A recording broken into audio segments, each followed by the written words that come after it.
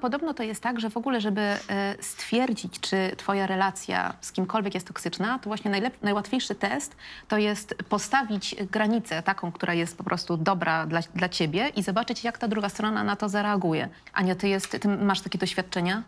Tak, ja mam bardzo bogate doświadczenia w tym temacie, rzeczywiście. A, I faktycznie to stawianie granic i um, życie po swojemu bardzo mocno weryfikuje otoczenie. I to w różnoraki sposób.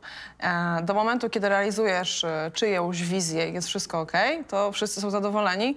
A jak już zaczynasz po swojemu realizować się i żyć, to wtedy widzisz, jak ktoś reaguje, czyli czy komuś to pasuje, jaki ktoś ma stosunek i tak dalej, i tak dalej. U, u mnie akurat było tak, że dopóki realizowałam ogólne, przyjęte standardy złote, e, to było w porządku i wszyscy byli zadowoleni. Natomiast jak e, stwierdziłam, że zaczynam życie po swojemu, troszkę zaczęłam inaczej swoją karierę projektować, zaczęłam się realizować na innych polach, to się okazało, że niektórym osobom to po prostu nie pasuje.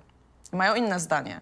Inną, I w- inny pomysł na ciebie. tak, inny pomysł na mnie i to jest zrozumiałe, bo przecież każdy ma inne pomysły, każdy chciałby robić co innego, tylko to, to, ta granica, gdzie ktoś przychodzi do mnie i mówi mi, co mam robić, to już jest dla mnie Dawaj, nie do przejścia. Przykład. Mhm. Dawaj przykład, No na przykład, tak, żeby, e, żeby się nasze widzki mogły utożsamić, z- wiesz, i przypomnieć sobie sytuację. Dobra, to taki z życia mojego wzięty. Na przykład e, pracuję w aptece. Jest to bardzo fajna praca, która daje dużo satysfakcji na pewno, ale chcę robić coś dalej, chcę robić coś więcej. I postanawiam na przykład pisać książki.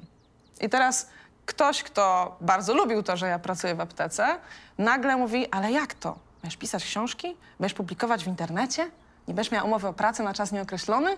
Nie wypada. Przecież ty masz doktorat, rób karierę i tak dalej, i tak dalej. Ale ja chcę publikować w internecie, albo ja chcę pisać książki, albo ja chcę, nie wiem, ruszyć w podróż dookoła świata. Cokolwiek, to jest moje życie, więc chciałabym realizować siebie. Ale jak to? I teraz tutaj, w zależności od tego, jakie kto ma swoje uwarunkowania, czy się boi, czy nie potrafi, to takie narzucanie własnego lęku, czy własnych wizji, Ja to nazywam to infekowanie jest takie komuś. dla tak. mnie już e, na granicy lęku. przemocy trochę, bo no, gdzie, gdzie, gdzie jest ta granica? No tam, gdzie ja się źle czuję. Jeżeli ktoś swoje lęki przenosi na mnie, okej, nie potrafisz pisać książek, to ich nie pisz. Nie chcesz publikować w internecie, to nie publikuj.